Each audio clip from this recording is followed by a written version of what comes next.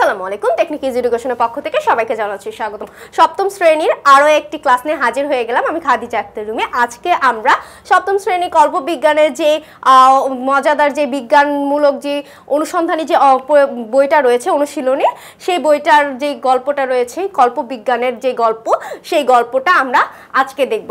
কল্পবিজ্ঞানের গল্প বলতে আমরা কি বুঝি? আমরা যে বিজ্ঞান সম্পর্কে যে আমাদের ধারণাগুলো রয়েছে হ্যাঁ যে বিজ্ঞানের বইয়ে বিভিন্ন মজাদার যে গল্পগুলো রয়েছে। বিজ্ঞান নিয়ে যে বিভিন্ন ভয়ঙ্কর বা মজাদার যে গল্পগুলো রয়েছে, সেগুলো সম্পর্কে বুঝি।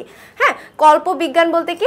বিজ্ঞানের সায়েন্স ফিকশন বিজ্ঞানের যে তোমার গল্পগুলো রয়েছে, মজাদার যে গল্প, সেই সম্পর্কে বুঝি। হ্যাঁ কল্পনা করে যে ইয়েগুলো, বিজ্ঞানের, সেইগুলো সেই গল্পগুলোকে আমরা কল্পবিজ্ঞানের গল্প বলি। ফার্স্টে আমরা গল্পের বইয়ে পড়তে পড়তে নিশ্চয়ই তোমাদের সবারই ভালো লাগে। রূপকথা বাস্তবধর্মী সাহিত্য সায়েন্স ফিকশন বা কল্পবিজ্ঞান। একটা জিনিস দেখো, রূপকথা। রূপকথা কি? যেগুলো হচ্ছে অবাস্তব হ্যাঁ? আর একটা কি? বাস্তব ধর্মী বাস্তব ধর্মী সাহিত্য মানে কি? যেগুলো হচ্ছে মানব জীবনের প্রত্যেক প্রত্যেক দৈনন্দিন যে জীবনে যে গল্পগুলো রয়ে থাকে। সায়েন্স ফিকশন বা কল্পবিজ্ঞানের গল্প, এই মানেটা হচ্ছে সায়েন্স ফিকশন বা কল্পবিজ্ঞান মানে কি? বিজ্ঞানের যে তোমার ধারণা নিয়ে যে বইগুলো তৈরি করা হয় বা বিজ্ঞানের তোমার বিজ্ঞান কীভাবে এলো, পৃথিবী কীভাবে আবিষ্কার হলো, পৃথিবীতে কি কি আছে বা কি কি নিয়ে কীভাবে বিগ ব্যাং তৈরি হয়েছে, সেই সম্পর্কে যে ধারণাগুলো রয়েছে সেগুলো হচ্ছে তোমার সায়েন্স ফিকশন বা কল্পবিজ্ঞানের গল্পের মধ্যে রয়েছে। ইত্যাদি কত রকমের বই তো তোমরা পড়েছো, পড়ো। কেমন হতো যদি তোমাদের নিজের লেখা ছ আঁকা নিয়ে একটি বই প্রকাশিত হতো, যার প্রকাশক তোমরা নিজেরাই। বিজ্ঞান বিষয়ের অংশ হিসেবে যেহেতু এই কাজ, কাজে বিষয় হিসেবে বেছে নেওয়া যাক কল্পবিজ্ঞান। চলো শুরু করি তাহলে। তাহলে আমরা চলো শুরু করে দিই হ্যাঁ? ফার্স্টে তোমার, তুমি যদি একটা বই প্রথম সেশনে ছিল, দেখো, প্রথম সেশনে তোমার একটা কাজ রয়েছে, সেটা নিজেদের দলগতভাবে করতে হবে, সেটা হচ্ছে তুমি একটা বই বানাতে পারবে, একটা বই তৈরি করতে তোমার কি কি লাগবে হ্যাঁ? একটা বই বানাতে তোমার কি কি লাগবে? ধরো তুমি প্রথমে প্রাথমিক চিন্তাটা আমরা করে নেই, প্রাথমিক চিন্তাটা কি হবে? তোমার ফার্স্টে হচ্ছে বই, তুমি কি, কোন বিষয় লিখবে, বিষয়বস্তু তোমাকে নির্ধারণ করতে হবে, দ্বিতীয়টা তোমার কি হবে? তুমি যে বইটা লিখছো বা সেই বইটা তুমি ডিজাইন করবে কীভাবে বা ছবি আঁকবে কীভাবে, তারপরে কি কম্পিউটার কম্পোজ করবে, তারপরে কি বাধাই করবে, তারপরে হচ্ছে এটার ভিতরে যে ভুল হয়েছে বা তুমি ঠিক করবে সম্পাদনা করবে, এক একটা প্রকাশনী থেকে তোমার বইটা প্রকাশ করবে, এই এক একটা পর্যায়ে ভাগ করে করে তোমার হচ্ছে কি একটা বই প্রকাশ করা হয়। হ্যাঁ একটা বই যে আমি লিখলাম সঙ্গে সঙ্গে প্রকাশ হয়েছে এরকম না। একটা বই যখন তুমি লিখো, তখন ওইটা প্রথমে দেখা হয় ওটার মধ্যে ফুল আছে কি না হ্যাঁ একটা বই কীভাবে লেখা আছে? দেখো, একটা বইয়ে তোমার লেখা থাকে, তারপরে যে দেখো কতগুলো ছবি দেওয়া থাকে, তারপরে বিভিন্ন বস্তু, বিষয়বস্তু নিয়ে লেখা থাকে, এই বিষয়বস্তুগুলো তুমি কীভাবে লিখবে? সেই সম্পর্কে তোমার দেওয়া থাকে।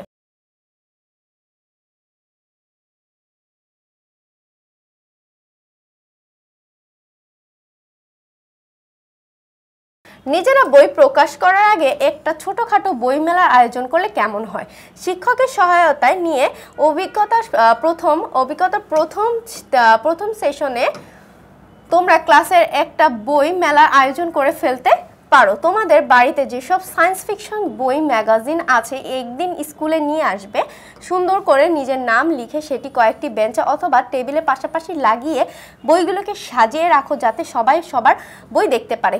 ঘুরে ঘুরে অন্যদের বই দেখো, কি কি বিষয়ের উপর এই বই আছে, তোমার পছন্দের কোন কোন লেখকের বই দেখছ, সেটি নিয়ে বন্ধুদের সাথে গল্প করতে পারো।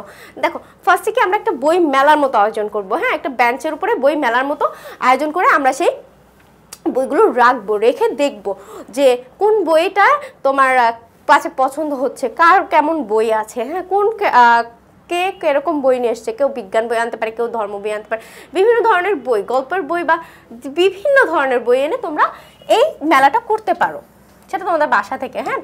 যদি সম্ভব হয় শিক্ষক বা অভিজ্ঞ, অভিভাবকের সাথে তোমাদের বিদ্যালয় অথবা জেলা বা উপজেলা গ্রন্থাগারে গিয়ে বিভিন্ন ধরনের বই দেখবে, পড়বে।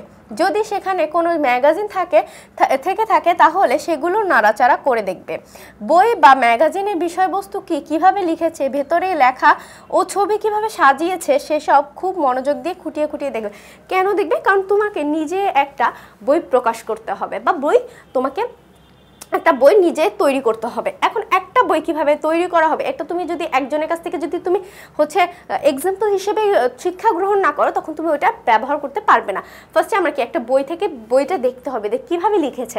তো ওইটা থেকে নতুনত্বভাবে নিজেকে একটা বই আবিষ্কার করে, নিজেকে একটা বই বানাতে হবে বা আবিষ্কার করতে হবে।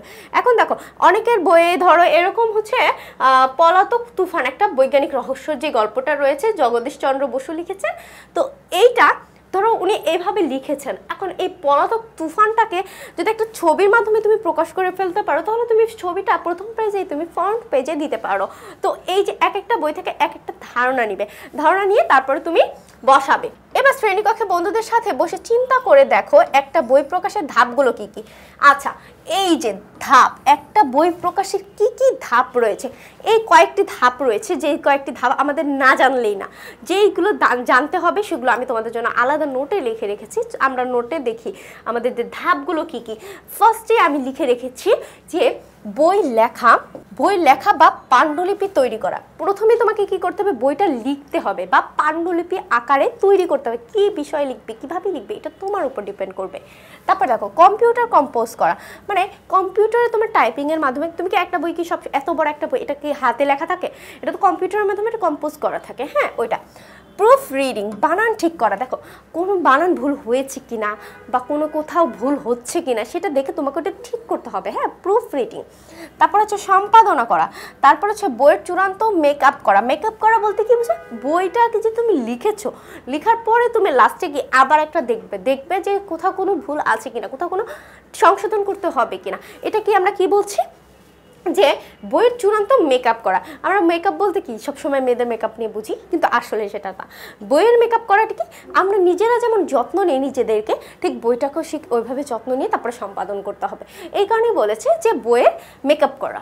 পেজ সেট আপ ট্রেসিং বা পিডিএফ প্রিন্ট দেখো পেজ সেট আপ করতে হবে। কোনটার পর কোন পেজটা যাবে, এটা তোমার পিডিএফ আকারে তোমাকে প্রকাশ করতে হবে হ্যাঁ? যে এই পেজের পরে আমার এই পেজটা আসবে। দেখো, অনেক সময় হয় কি পেজটা উল্টো পাল্টা হয়ে যায়। তো উল্টো পাল্টা যেন না হয়, এই কারণে পেজ সেট আপ করতে হবে। প্রচ্ছদ ডিজাইন ডিজাইন করতে হবে, বই ছাপানো, তারপরে হচ্ছে বইটা, একটা বই কখনো কি একজনের, একটা বই বের হয়, একটা বই কি ছাপানো আরও ডুপ্লিকেট আরও অনেকগুলো বই বের হয় না? ওইটাই বলছে তারপরে তারপর হচ্ছে বইয়ের কভার ছাপানো কভার উপরে তুমি কি দিবে? মানুষকে আকর্ষণ করার জন্য তুমি কীরকম তুমি কভারটা দিবে? দেখো, কল্পবিজ্ঞানের গল্প, ধরো তুমি একটা বই লিখলেই নিজে যে কল্পবিজ্ঞানের গল্প। এখানে তুমি নিজে একটা কল্পবিজ্ঞানের একটা দৃশ্য দিলে হ্যাঁ নিজের মতো করে এঁকে। তো ওইটাকে তখন তুমি দিবে, তখন মানুষকে আকর্ষিত হবে? স্টুডেন্টরা আকর্ষিত হবে যে এই জিনিসটা আমি পড়তে পারব, ভালো লাগছে দেখতে। যখন তোমার উপরে ফ্রন্ট প্রেসটা ভালো লাগবে না, তখন তোমার ভিতরে কেউ পড়তেও যাবে না। তো এই কারণে কি আকর্ষণ করার জন্য তুমি তোমার মতো করে একটা চিত্র আঁকতে, বই বাধাই করা মানে একটার পর একটা পেজ দিয়ে বাধাই করা হ্যাঁ? তারপরে বাজারজাত করা, বাজারজাতকে বাজারে প্রকাশ করে দেওয়া। তাহলে আমাদের বই প্রকাশ করার ধাপগুলো আমরা জেনে নিলাম, এর পরেরটা দেখব। এরপরে প্রতিটি বইয়ের প্রথম পৃষ্ঠা উল্টালে হাতের বামে প্রিন্টার্স লাইন এর জন্য এক পৃষ্ঠা বরাদ্দ থাকে। এখানে দেখবে বই প্রকাশের পেছনে যারা মূলত থাকেন, যেমন লেখক, আঁকিয়ে, প্রকাশক সত্ত্বাধিকারী তাদের নাম নামধাম লেখা থাকে। দেখো ফার্স্টে একটা কি? ধরো তোমার বইয়ের প্রথম পেজে আমি চলে গেলাম। তোমার বইয়ের প্রথম পেজে আমি চলে গেলাম। তোমার পেজের প্রথম বইয়ের প্রথম পেজে কি লেখা আছে? প্রথমে কি লেখা আছে? রচনা, সংস্করণ, রচনা। রচনাকে নাসরিন সুলতানা মিতু, ডক্টর মনস্কান্তি বিশ্বাস শিহাব শাহরিয়ার নির্ঝর মোহাম্মদ রকুনুজ্জামান শিকদার, ডক্টর মোহাম্মদ জা ইকবাল হোসেন। তারপরে দেখো, সম্পাদনা। প্রথমে কি ছিল? রচনা কে করেছে? তারপরে কি করেছে? সম্পাদনা কে করেছে? তো এইভাবে সম্পাদনা কে করেছে? Mohammad Jafar Iqbal sir doctor Mohammad Jafar Iqbal sir, doctor Hasina Khan, ma'am তারপর দেখো, এভাবে তোমার রচনা, সম্পাদনা কে করেছে? হ্যাঁ তারপর কোথা থেকে প্রকাশিত হয়েছে? হ্যাঁ মতিঝিল বাণিজ্যিক এলাকা ঢাকা এক হাজার কর্তৃক প্রকাশিত। প্রকাশিত কোথা থেকে হয়েছে? সেটাও তোমাকে উল্লেখ করে দিতে হবে। তো বইয়ে তোমার ঠিক এভাবে উল্লেখ করে দিতে হবে। তারপরে দেখি আমরা। তাদের নাম ধাম লেখা থাকে। এর বইয়ের একটি বই ছাপা হবার আগে প্রুফ দেখা, সম্পাদনা বাধা বাধা ইত্যাদি আরও অনেকগুলো ধাপ পার হয়ে আসতে হয়। বিভিন্ন বইয়ের প্রিন্টার্স লাইন দেখে কিংবা শিক্ষক সহ অন্যদের সহায়তা নিয়ে বই প্রকাশের জন্য কি কি ধাপ অনুসরণ করতে হয়, তার একটি তালিকা তৈরি করো। দেখো তালিকাটা আমরা আগেই তোমাদেরকে দেখিয়ে দিয়ে ফেলেছি যে কী কী ধাপ তুমি দিবে, কী কী ধাপ তুমি প্রকাশ করবে, সেটা তোমাদেরকে আগেই দেখিয়ে দিলাম। যাতে যখন শিক্ষক তোমাকে জিজ্ঞাসা করবে যে তোমার একটা বই প্রকাশের কতগুলো ধাপ রয়েছে, সেগুলো কি কি, তখন তুমি নিজেরাই যেন বলতে পারো। যে ধাপ আমি দিয়েছি, যে এগারোটি ধাপ আমি এখানে লিখে রেখেছি, সেই এগারোটি ধাপ অবশ্যই তোমরা মুখস্থ করে ফেলবে। তারপর দেখো, সবচেয়ে ভালো হয় এমন কারোর সাক্ষাৎকার নিয়ে নিলে যিনি বই প্রকাশের কাজের সঙ্গে যুক্ত, এমন কাউকে যদি খুঁজে পাও কিংবা কোনো গ্রন্থ গ্র- গ্রন্থ গ্রা- গ্রন্থাগারিক, যিনি বই সম্পর্কে অনেক কিছু জানেন, তাকে জিজ্ঞাসা করতে পারো কীভাবে বই বা ম্যাগাজিনে অনেকজন মিলে লেখা যায়, কীভাবে সম্পাদনা করতে হয়, প্রুফ দেখতে দেখতে হয়, প্রচ্ছদ তৈরি ও বাচ্চায় শেষে কীভাবে বই প্রকাশ করতে হয়? দেখো, কীভাবে বই প্রকাশ করতে, এটা কি একজন গ্রন্থগারিক বা একজন যে লিখেছেন বা একজন বই প্রকাশ করেছেন প্রকাশনার কাছ থেকে তুমি কি জানতে পারবে যে কীভাবে আমাদের বইটা প্রকাশ করা যেতে পারে? হ্যাঁ একটা বই যখন তুমি লিখবে বা যখন তুমি একটা বই সম্প বই প্রকাশ করতে যাবে, তখন তোমাকে এই যে বিষয়গুলো সবচেয়ে জানতে হবে, সেই বিষয়গুলো তুমি গ্রন্থাগারিক সাথে আলোচনা করতে পারো। হ্যাঁ আমি যে বিষয়গুলো, এগারোটা বিষয় লিখে রেখেছি, ধাপগুলো, এগুলো জানলে আপাতত তোমরা তোমাদের স্কুলের যে অনুষ্ঠানটা হবে বা তোমাদের যে পার্টিসিপেট করতে হবে সেটা তুমি করতে পারবে ইনশাল্লাহ তারপর দেখো, তাছাড়াও কোনো নির্দিষ্ট বই কোন কেন ভালো লাগে বা বইয়ের কি ভালো লাগে তা নিয়ে তোমার বন্ধুদের সঙ্গে কথা বলো। অন্য বন্ধুদের কাছ থেকেও শুনে নাও কোনো নির্দিষ্ট বই কেন তার পছন্দ। নিজের বই প্রকাশের সময় এই বিষয়গুলো মাথায় রাখা জরুরি। দেখো, আমার তো মনে হয় যে একটা বইয়ে যত সুন্দর সুন্দর ছবি থাকবে, আমার কাছে তত আকর্ষণীয় লাগে। যে ছবির নিচে নিচে লেখা, আমি যখন ছোট ছিলাম তখন আমি এই বইমেলা থেকে সবচেয়ে বেশি কিনতাম কি জানো? ঠাকুমার ছুলি তারপর আরও বিভিন্ন ধরনের গল্পের বই থাকে না, যে কার্টুনের গল্পের বই, ওগুলো কিনতাম। তো কেন কিনতাম? ওগুলো হচ্ছে তোমার ছবি দেওয়া থাকতো হ্যাঁ? ছবিগুলো কথা বলছে, এগুলো পড়তে আমার কাছে বেশি ইন্টারেস্টিং লাগতো। এই কারণে আমি ওই বইগুলো কিনতাম। এখন দেখো, আমার ভালো লাগে কি ছবির পাশে লেখাগুলো। তো এরকম অনেকের অনেকগুলো ভালো থাক, লাগতে পারে। যেমন দেখো, অনেকের আছে কি যে শুধু লেখা থাকবে, কোনো ছবি থাকবে না। এরকম বই পছন্দ। তো, তোমার মাথায় রাখতে হবে, তুমি কোনটা পছন্দ করো। সেই অনুযায়ী তোমার একটা বই বানাতে হবে যে আমি আমি এটা পছন্দ করি হ্যাঁ ঠিক আছে, আমার যে, আমার বই যারা পড়বে তারাও হয়তো এটা পছন্দ করবে। এইভাবে তুমি বইটা প্রকাশ করবে। হ্যাঁ দেখো, এই বিষয়গুলো তোমাদের মাথায় রাখতে হবে। এবার একটু চিন্তা করে দেখো সায়েন্স ফিকশন গল্প বা বইয়ের বিষয়বস্তু সাধারণত কী ধরনের হয়? এই ঘরানো ঘরানার গল্প কোন ধরনের প্রেক্ষাপটে লেখা হয়? বন্ধুদের সাথে আলাপ করে দেখো তাদের কি ধারণা। আচ্ছা সায়েন্স ফিকশনটা কি? সায়েন্স ফিকশন হচ্ছে তোমার কল্পবিজ্ঞান বা কল্পনার জগতের যে বিজ্ঞানগুলো রয়েছে সেটা হ্যাঁ? অনেকে কল্পনা করে কি পৃথিবী লি- কমলা লেবুর মতো। আসলে কি কমলা লেবুর মতো? কিন্তু না কল্পনা কমলালেবুর মতো। অনেকে ধারণা করে কি পৃথিবীতে আগে হচ্ছে তোমার ইয়ে ছিল, অনেকগুলা তোমার অনেক ভয়ঙ্কর জীবজন্তু ছিল। আসলে তো ছিল। তো এগুলো কি তারা আলোচনা করতো বলতো দৈত্য দানব ছিল। একটা গল্প করে না? দৈত্য দানব ছিল। তো দৈত্য দানব কোনগুলো? সেগুলো হচ্ছে তোমার ডাইনোসর বিভিন্ন ধরনের পশু পাখি। তারা কি বলতো? দৈত্য দানব দৈত্য দানবের কথাগুলো ভাবতে ভাবতে তারা তারা এক একটা গল্প বানিয়ে ফেলতো। দেখবা তোমার দিদিমা, ঠাকুমা বা তোমার যারা আছে, দাদা, দাদি বা তোমার মা হয়তো বা এই ধরনের গল্প করেই থাকবে। আমার মতো সবসময় করতো যে এই দত্ত ছিল, দত্ত এসে কামড় দিবে, তারপর মানুষ খেয়ে ফেলতো এগুলো বলতো। তো এরকম দেখবা অনেক গল্পই তোমরা শুনতে পাবে। তোমার যদি অন্য বন্ধুদের কোনো বই পড়তে ইচ্ছে করে, তাহলে তার অনুমতি নিয়ে বইটি ধার নাও। তোমার নিজের বই যদি অন্য কাউ পড়তে চায়, তাহলে তাকে দিতে পারো। এভাবে নিজেদের মধ্যে বই বিনিময় ও বইয়ের বিষয়বস্তু নিয়ে আলোচনা শেষ করে ফেলো প্রথম সেশনে দেখো, বই বিনিময় বা বই নিয়ে আলোচনা আমরা প্রথম সেশনে শেষ করে ফেলব। কীভাবে? যে ওর বই ধরো, তোমার একটা ফ্রেন্ডের বই তোমার পছন্দ হয়েছে, সেই বইটা তুমি ধার নিবে। কা- কারোর কাছ থেকে চুরি করা যাবে না, ঠিক আছে? বইটা আমাদেরকে ধার নিতে হবে। ধার নিয়ে পড়ে আবার ওইটা ফেরত দিতে হবে। আর তার সে যদি তোমার কোনো বই চায়, তাহলে তুমি অবশ্যই তাকে দিয়ে সাহায্য করবে। এরপর আমরা দ্বিতীয় সেশনে যাই। দ্বিতীয় সেশনে আমাদের একটা ছক আছে, সেই ছকটা আমরা পূরণ করব। তার আগে দেখি, এখানে কি বলেছে? ভিন গ্রহের জীব কল্পবিজ্ঞানের লেখকদের অন্যতম প্রধান বিষয়। দেখো, ভিন গ্রহের জীব মানে এলিয়েন হ্যাঁ? এলিয়েন কি? কল্পবিজ্ঞান। মানুষ কল্পনা করে যে ঈশ্বরে এলিয়েন আসছে, পৃথিবীতে এলিয়েন নামছে হ্যাঁ? এরকম অনেক কিছু বিষয় নিয়ে কল্পনা করে। তো এটা হচ্ছে কি? বিষয়বস্তু। অন্যতম লেখকদের অন্যতম বিষয়বস্তু কি? এলিয়েন এসেছিল এলিয়েন পৃথিবীকে এই এই জিনিসটা দিয়ে গেছে। বা এইখানে, এখানে, আম- আমরা তো মিনা কার্টুনে দেখেছিলাম যে একটা এলিয়েনের দরকার ছিল হচ্ছে সাবান। তো এলিয়েনটা পাথর খুঁজতে আসছে হ্যাঁ বলে কি পাথর খুঁজতে এসেছি। তো মিনার কার্টুনে এটা পর্বটা হয়তো বা সবাই দেখেছ যে এলিয়েনটা নামে নামলে, তো মিনা কাঠুরা সবাই ভয় পায়, একটা ছেলে ছিল বদমাস তো বদমাস ছেলেটা ওই ইয়েটাকে, এলিয়েনটাকে জ্বালাতে থাকে। কিন্তু তখন মিলান যে বলে, তোমার কি চাই? পরে বলছে, আমাকে পাথর লাগবে। তো সবাই পাথর খুঁজতে যায়। পাথর খুঁজতে যায় যে দুষ্টু ছেলে বিশাল বড় একটা পাথর নিয়ে আসে। পরে পাথর খুঁজতে, সব পাথর জমা করে একসাথে, তো এলিয়েনটা দেখে যে, কোন পাথর তার লাগবে? তখন দেখে যে, তার একটা পাথরও লাগছে না। তো হঠাৎ করে পাশে আছে একটা নদীতে একজন লোক গোসল করতে যায় সাবান নিয়ে। তো সাবানটা দেখে সে বলে, পেয়ে গেছি পাথরটা। হ্যাঁ সে মনে করে ওটা পাথর, কিন্তু এটা তো আসলে সাবান। কেন লাগতো? তাদের গ্রহে নাকি জীবাণু আক্রমণ করেছে, তো জীবাণু মারা যান তাদের গ্রহে অনেক বাচ্চা মারা যাচ্ছে, এই কারণে তাদের জীবাণু জীবাণু ধ্বংস করার জন্য তাদের দরকার ছিল কি সাবান, এই কারণে সে পৃথিবীতে এসেছিল সাবান নিতে। তো এইরকম যে গল্পগুলো রয়েছে, এগুলো হচ্ছে কি, লেখকদের অন্যতম প্রধান বিষয় থাকে। বিশ্বজুড়ে অসংখ্য কল্পবিজ্ঞানের গল্প, উপন্যাস, সিনেমা তৈরি হয়েছে এই ভিন গ্রহে। জীব বা এলিয়েন তাদের মহাবিশ্ব মহাজানের উপজীব্য করে, মহাকাশ উপজীব্য করে প্রায় কার্টুনে তোমার দেখাবে, প্রায় মুভি বের হয় যে এলিয়েন হ্যাঁ? তারপরে অ্যাভাটার দেখছ সবাই? অ্যাভাটারে তোমার হচ্ছে এলিয়েন দিয়েই তোমার হচ্ছে কাহিনীটা করা। প্রথম সেশনের পর তোমাদের নিশ্চয়ই বই বা ম্যাগাজিন প্রকাশন সম্পর্কে একটি ধারণা হয়েছে। এবার নিজেদের হাতে, কাজে হাতে হাত দেওয়া পালা। তোমাদের নিজেদের লেখা সায়েন্স ফিকশন গল্প নিয়ে একটি বই প্রকাশিত হবে। সায়েন্স ফিকশন বা কল্পবিজ্ঞানের গল্প উপন্যাসের বিষয়গুলো কেমন হয় তা সম্পর্কে নিশ্চয়ই কিছু ধারণা ইতিমধ্যে পেয়েছ। তোমাদের গল্পের বিষয়বস্তু হিসেবে তোমরা তোমরা এমন অনেক কিছুই বেছে নিতে পারো। ভবিষ্যতে পৃথিবী কেমন হবে? মহাবিশ্বের ভবিষ্যৎ কি? টাইম মেশিন চেপে অতীত বা ভবিষ্যতে চলে গেলে কেমন হতো? দেখো পৃথিবীর ভবিষ্যতে কি হবে? মহাবিশ্বের ভবিষ্যৎ কি? টাইম মেশিনে অতীতে বা ভবিষ্যতে চলে গেলে কি দেখতে পাবো? এই ধরনের নিয়ে একটা গল্প তুমি বানিয়ে ফেলবে হ্যাঁ? এসব নিয়ে গল্পের আইডিয়া ভাবতে পারো, এমনকি ভিনগ্রহের প্রাণী বা এলিয়েনও হতে পারে তোমার গল্পের বিষয়বস্তু।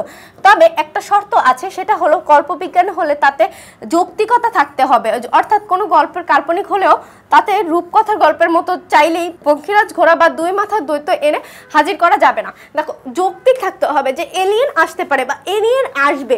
এরকম একটা কিছু নিয়ে তুমি যৌক্তিক দেখাবা, যে যৌক্তিক বিষয়গুলো দেখাবা। তারপরে ধরো তোমার ভবিষ্যতে অতীত বা টাইম মেশিন একটা আবিষ্কার করো ওইটা থেকে অতীত বা ভবিষ্যতে চলে গেছো। বা একটা তুমি মেশিন আবিষ্কার করছ যেটা দিয়ে তোমার উপকার হচ্ছে। এই ধরনের কল্প, কল্পনা করে তুমি একটা গল্প লিখতে পারো। কিন্তু এটা যৌক্তিক হতে হবে। কল্পবিজ্ঞান হলেও গল্প লেখার সময় বৈজ্ঞানিক তত্ত্ব ও তথ্য সঠিকভাবে ব্যবহার করতে হবে। যেহেতু ক্লাসে সবাই মিলে বইটি প্রকাশ করবে, তাই প্রত্যেকের অংশগ্রহণ থাকা জরুরি। কাজটা গুছিয়ে করতে প্রথমেই নিজেদের মধ্যে কয়েকটি দলে ভাগ হয়ে যাও। এবার ছক এক এর এ তোমাদের দলের সদস্য কারা তা লিখে ফেলো। দলের সবাই মিলে আলোচনা করে তোমার দলের একটি নাম ঠিক করে নাও, কে কি ধরনের কাজ করবে, যেমন লেখালেখি, ছবি আঁকা, অলঙ্করণ ইত্যাদি। এর ভিত্তিতে এক কলামটি পূরণ করে দেখো, দলের নাম, এখন দলের নাম তুমি যদি চাও যে এক একটা নাম দিবে, ধরো তোমার দলের নাম দিলে তুমি গোলাপ গোলাপ। হ্যাঁ তোমার দলের নাম গোলাপ। এখন তোমার সদস্যের নাম, তোমার ফ্রেন্ড সার্কেল যারা আছে, তাদের নাম বা তোমার তোমার পছন্দের ফ্রেন্ডদের নাম বা তোমার দলে যাদেরকে ফেলবে, তাদের নাম দিতে হবে। তো আমি আলাদা একটা তোমাদের আলাদা একটা ছক করে রেখেছি যে দলের নাম বা সদস্যের নাম। দলের নামটা তুমি তোমার মতো করে লিখবে হ্যাঁ? ধরো দলের নাম দিলাম আমি গোলাপ। গোলাপ বা গোলাপ বা জবা, ঠিক আছে? সদস্যের নাম কি? ধরো আমি দিলাম হচ্ছে মাইশা, সাইমা, অর্ক আমার নামই দিই রুমি, তারপর হচ্ছে ধরো দিলাম সাইমা অর্ক রুমি, তারপরে দিলাম হচ্ছে ধরো দিলাম হচ্ছে আর রামিশা। আরাবা, আয়াতু। এটা আমি এক্সাক্ট লিখলাম না মানে আমি আগে লিখিনি, কারণ কি এটা তোমরা তোমাদের মতো করে নামটা বসিয়ে দিবে এই কারণে। দেখো, সাইমা কি কাজ করবে? লেখালেখি বা সম্পাদনা, মাইশা।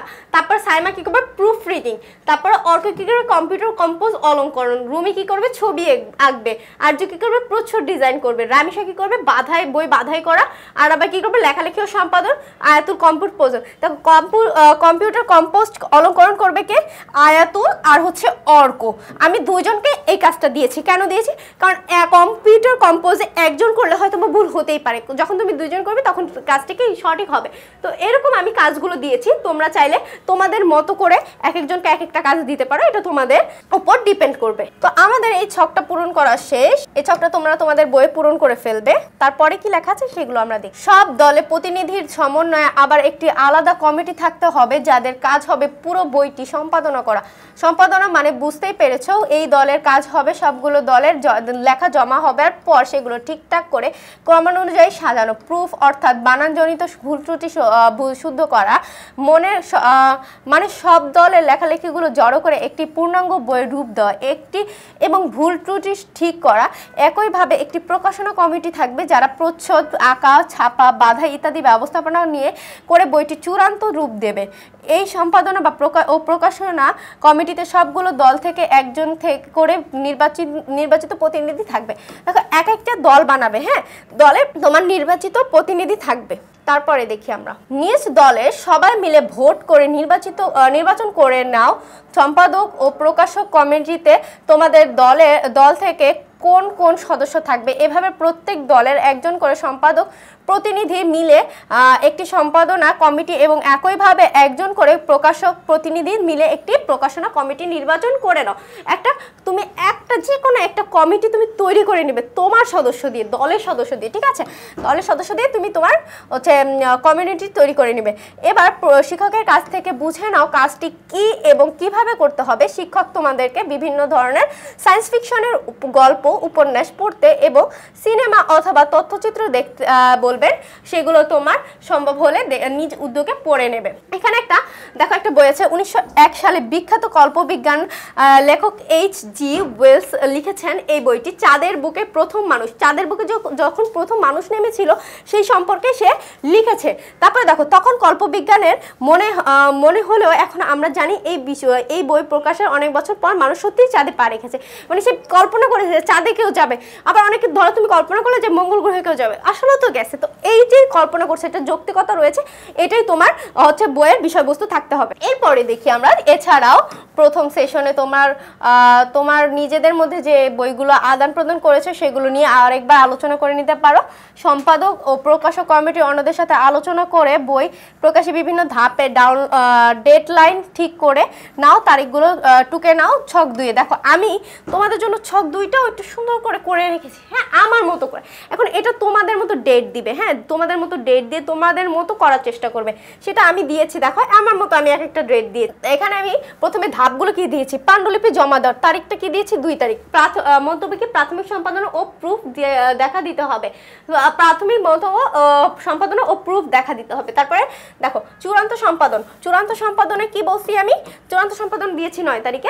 বৈজ্ঞানিক তাত্ত্বিক ভুল থাকলে তা অবশ্যই সম্পাদন বৈজ্ঞানিক যে তত্ত্বটা রয়েছে সেটা যদি ভুল থাকে সেটা সংশোধন করে ফেলতে হবে। তারপরে ছবি আঁকা, অবশ্যই গল্পের সাথে সামঞ্জস্যপূর্ণ থাকতে হবে। কেন সামঞ্জস্যপূর্ণ থাকতে হবে? কারণ গল্প যেরকম হবে, ঠিক তুমি ছবিটা এরকমই আঁকবে। ধরো তুমি গল্প দিলে বিজ্ঞানের গল্প, সেখানে তুমি গ্রামীণ দৃশ্য দিলে, তাহলে তো হবে না, তাই না? তো বিজ্ঞানে নিয়ে তোমার বিজ্ঞানের ছবি আঁকতে হবে। তারপরে চূড়ান্ত অলঙ্করণ করা। আমি পনেরো তারিখে চূড়ান্ত অলঙ্করণ করেছি, নির্ধারিত পৃষ্ঠার মধ্যে নিতে হবে।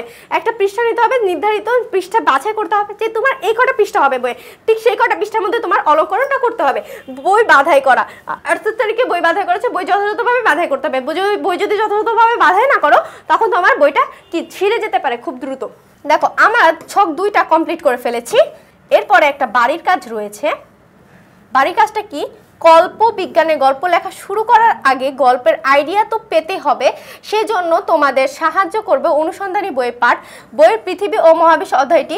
মহাবিশ্বের সৃষ্টি কীভাবে হলো, মহাবিশ্ব কি দিয়ে তৈরি, নক্ষত্র, galaxy black hole big bang, এসব নিয়ে অনেক নতুন নতুন তথ্য কথা জানতে পারবে। এই অধ্যায় থেকে আর এসব নিয়ে চিন্তা করতে গিয়ে গল্পের আইডিয়াও মিলে যেতে পারে। আর যেহেতু শুরুতেই বলা হয়েছে যে বৈজ্ঞানিক তথ্যের ক্ষেত্রে ভুল তথ্য দেওয়া যাবে না, কাজে কিছু কিছু বিষয় আগেই জেনে নিতে নিলে ভালো। বাড়ির কাজ হিসেবে পরে সেশনের আগে এই অধ্যায়টি মনোযোগ দিয়ে পড়ে আসবে। দেখো, আমি তোমাদেরকে এই বাড়ির কাজটা দিয়ে দিলাম, যেটা হচ্ছে অনুসন্ধানী বইয়ে যে তোমার মহাবিশ্ব, পৃথিবী ও মহাবিশ্ব অধ্যায়টি রয়েছে, এটা তোমরা পড়বে। পড়ে এখান থেকে যে তোমার প্রশ্নগুলো রয়েছে, সেগুলো তোমরা লেখার চেষ্টা করবে, ঠিক আছে? প্রশ্ন লিখবে, এটা তোমাদের বাড়ির কাজ থাকবে। এই বাড়ির কাজটা তোমরা অবশ্যই করে আনবে প্রিয় শিক্ষার্থী বন্ধুরা, আজকে এই পর্যন্তই থাকবে। আগামী পর্ব দেখার আমন্ত্রণ জানিয়ে এখানেই বিদায় নিচ্ছি। যে বাড়ি কাজটা দিয়েছি, সেই বাড়ি কাজটা তোমরা করে রাখবে। আর প্রথম আর দ্বিতীয় সেশন আমরা এই পর্বের মাধ্যমে শেষ করেছি। নেক্সট পর্বের মাধ্যমে তৃতীয়, চতুর্থ পঞ্চম সেশন শেষ করার চেষ্টা করব ইনশাল্লাহ সেই পর্যন্ত সবাই ভালো থেকো, সুস্থ থেকো। আল্লাহ হাফেজ।